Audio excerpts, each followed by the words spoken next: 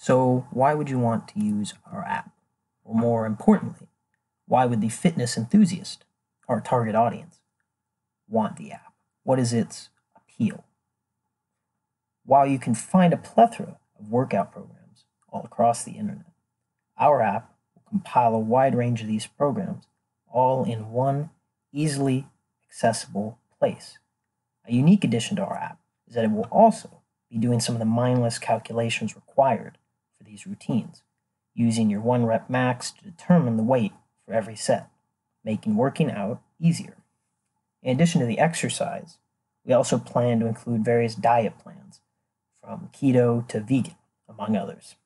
And finally, our forum portion will allow our users to communicate with other fitness minded individuals also using the app. The monetization plan for our app is fairly basic.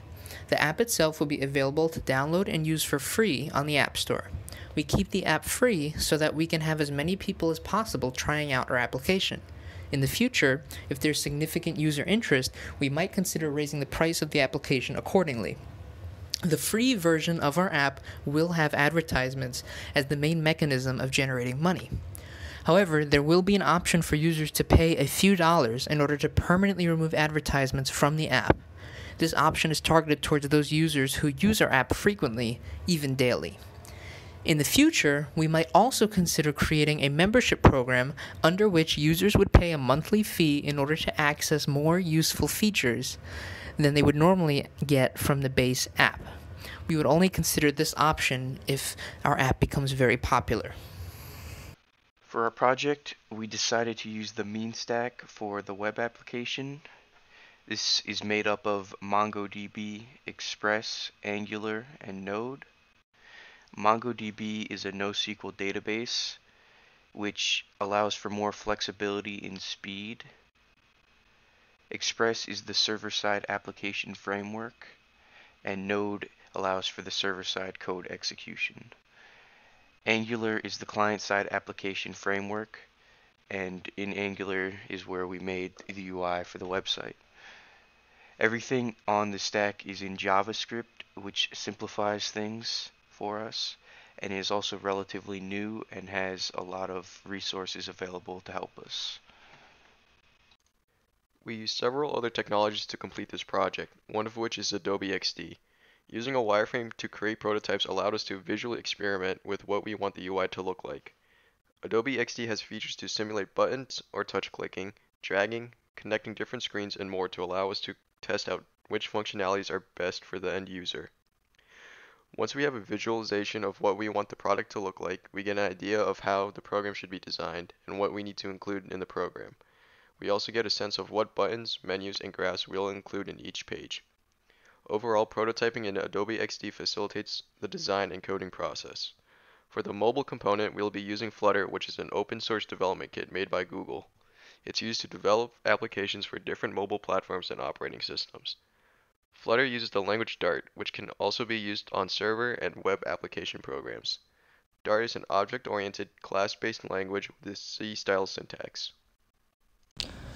Alright, so this is our use case diagram for our app and website, and it includes a couple of different functionalities. Um, first off, we have our sign-in functionality, where a user will input their credentials and then we will verify these credentials with um, our database to make sure that they match and that they exist. Um, next is our sign up, where a user who is not in our database will give us his credentials and we will hash them for security and store them in our database. Um, next, we have some of our more specific features, such as creating a custom workout program we would then have this program be stored in the database so that a user could access in the future.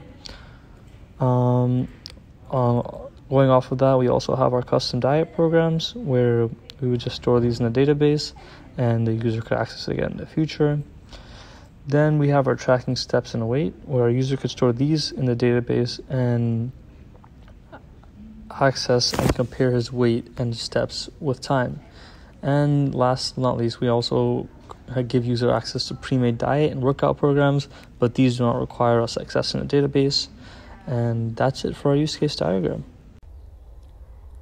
Here we have the entity relationship diagram, or the ERD, which consists of five tables, the user, profile, workout, meal, and program tables. So the user table, which has the user ID field, connects to the profile table, which connects to the foreign key of the profile name.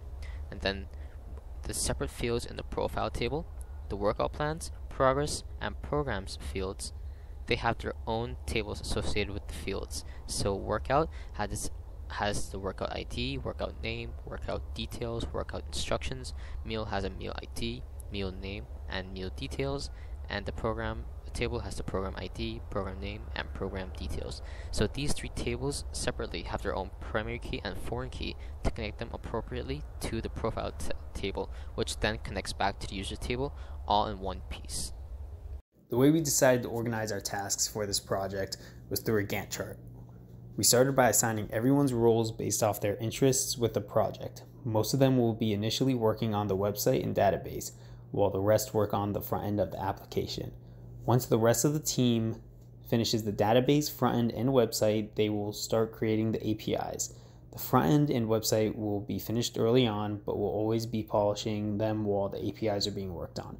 The reason why each function will be attacked one after the other is that the functions within each page are similar, meaning that we would not want to have multiple people creating the same APIs for different pages. And the presentation will be worked on on the end of the project.